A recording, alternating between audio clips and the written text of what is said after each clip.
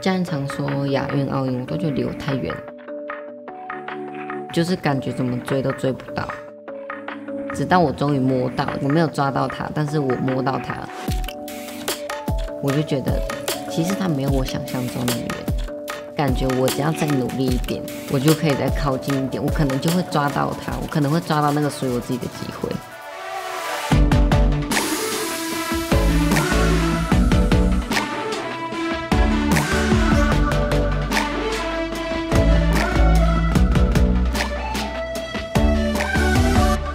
今年二十二岁，我是来自嘉义县阿里山乡的周族。新闻说你壮年港星阿娇，你觉我只能讲我比较年轻。你要回答说我比较正。OK，好，我比较正。从什么时候开始接触举重？国一，为什么？我的启蒙教练一直跟我说，你就试试看嘛。然后一直觉得说我有那个条件，出去比赛，就说你就去感受一下比赛的气氛，你就当做去玩。那我就出国去比赛，那我就去乌兹别克。然后就拿了没有，我是 B 组的大数第二，我就赢我学姐而已。我跟四年再回到同一个地方比赛，我就拿了第一名回家。我觉得在同样的地方创造不一样的成绩，我觉得我看到我自己的进步，我自己觉得很开心。是他让我知道，其实我自己还可以再走下去。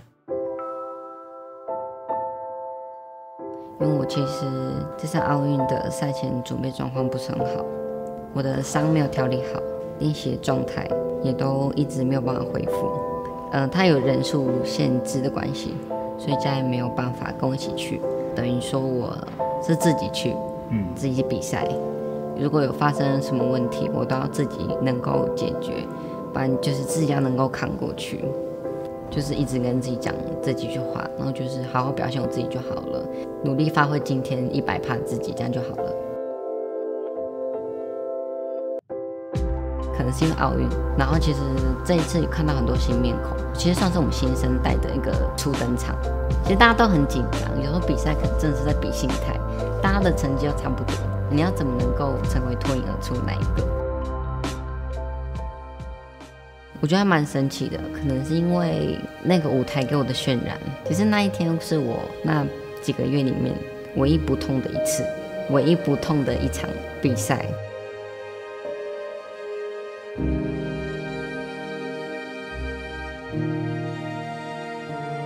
这第四名是真的还蛮意外的、我我自己也觉得我真的很幸运。妈妈一个人住在台南，那你会定期回去看你妈妈吗？我还是能，就是能能够能够回家，还是希会希望可以回去。那妈妈也是支持你在这条路上面，支持你的最大动力，对不对？对啊，他一开始其实是反对他，因为他不喜欢我受伤。可是后面他其实也有看到我，就大家觉得我很辛苦的地方。虽然我很不喜欢他讲这句话啦，就是因为他每次都说他不知道他自己还可以再照顾我多久。因为我妈的身体其实蛮不好的，因为我妈妈自己靠自己养我，所以我就一直觉得很辛苦。然后，可是因为她为了照顾我，那时候她生完我，其实身体很不好，但是她还是要去工作，不然没有钱养我。我常一直跟他说，我我想要参加什么什么比赛，那我都跟他说你要照顾好身体，那我都跟他说我我很努力练习，然后你的任务就是好好照顾自己的身体。我说，帮我拿冠军，我要拿给谁看呢、如果你不在了，嗯，我我是为什么努力这样？妈妈，你要看这期，他希望我有所成就，不是因为他想要拿这些成就去炫耀，而是他希望我的努力可以得到回报。然后不管我做什么事情、选择什么，他都会支持我。家人常说亚运、奥运，我都觉得离我太远。直到我终于摸到，我没有抓到他，但是我摸到他，我就觉得其实他没有我想象中那么远。就是感觉我只要再努力一点，我就可以再靠近一点，我可能就会抓到他，我可能会抓到那个属于我自己的机会。